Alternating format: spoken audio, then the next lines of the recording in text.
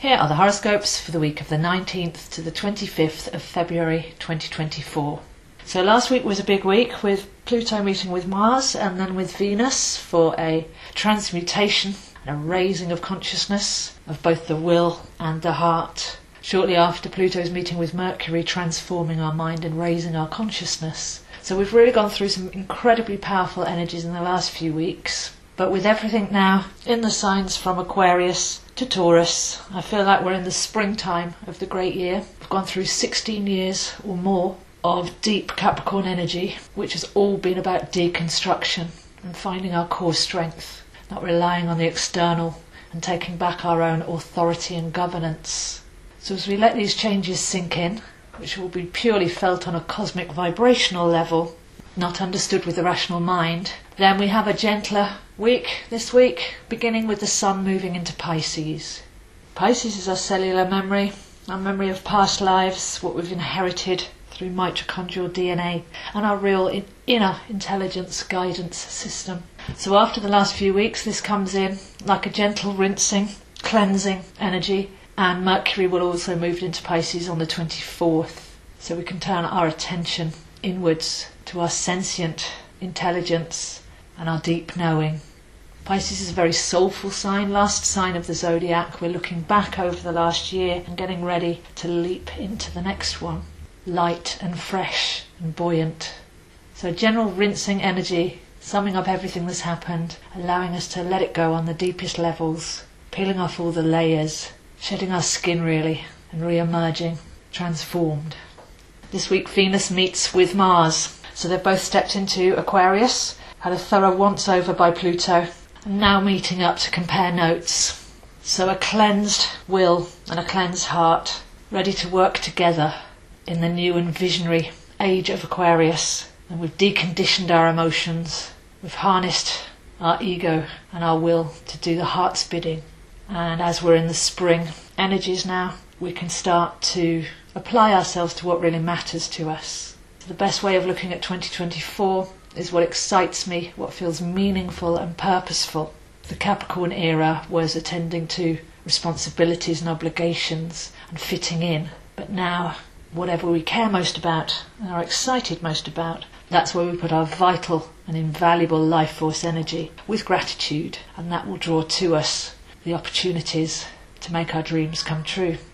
So, know how we want to feel, know what we care about, know what matters to us, and where we want to put our vital time and energy in the most uplifting and healing loop would be a better look at 2024 than the old way of thinking of plans in terms of career and achievement and long term gain. So, it's going to take a while for us to get used to this new way of being. And from September to November, Pluto will dip back into Capricorn for some final clearing up and to hand back the keys. So this year's primarily an adjustment, not having to know, not having to plan, but centering in the passion, the light in the middle of every cell, and considering yourself from a soul level. What did I really come here for, rather than the survival matrix of what's the best I can do within the system.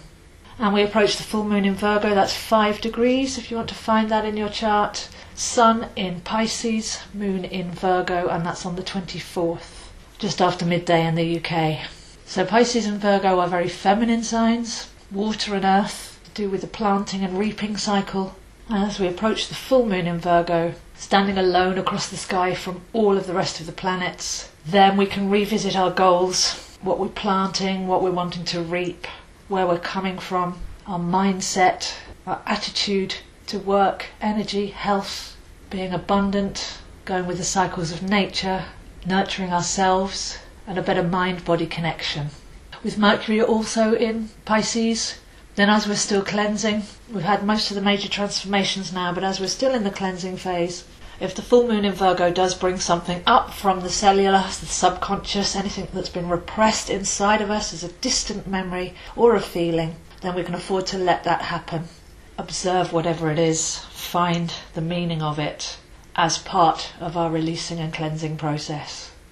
Next week, the Sun will meet Saturn in Pisces, so that will really firm up our core strength and resolution, our trust in ourselves and our guidance, firm up our intuition. So, at this full moon, it's more about getting out of the habit of negative thinking or believing and behaving in a certain way, in the old way, hard working, things take effort, life has to be a struggle, those kind of things, or being led by the mind and the head and the plans and the attachments.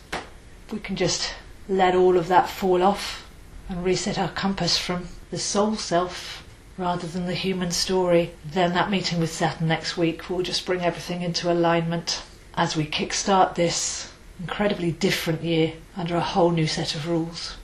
So, mastery of our mind, our will, and our emotions has been on the table for the last few weeks. And now, with all the Pisces energy and the full moon, we're letting go of the residue. What we used to be like, what we used to believe in, what we were told we should be like, giving ourselves permission to be the unique essence that we all are and to operate from our own centre and authority and see what that brings back to us as we transmit and receive on a higher and more aware level, than really knowing what matters to you and what you love and how you like to feel actually the starting point for any future plans. So if you'd like to see where this is happening for you, I am available zoehind7 at gmail.com. I can help you work with these energies in your own chart, release any baggage, change perspective, and align with your focus and purpose in this new environment. I record MP3 and use tarot as well, and I teach astrology, tarot, numerology, and more. So do email me if you'd like to do some personal study. Really make the most of these astrological energies that we'll only have once in this lifetime and start to feel a way forwards that's perfect for you. I have some meditations and practical applications that you can use at the right time to really shift the energy as well as your perspective so a gentle Piscean week, heading towards a full moon in Virgo, Mercury into Pisces, and a short meeting of Venus and Mars to sum up the changes that happened last week. All adds up to a more simple and cleansing feeling, but a deep adjustment to who we are and where we're coming from, which will pay great dividends in the rest of the year.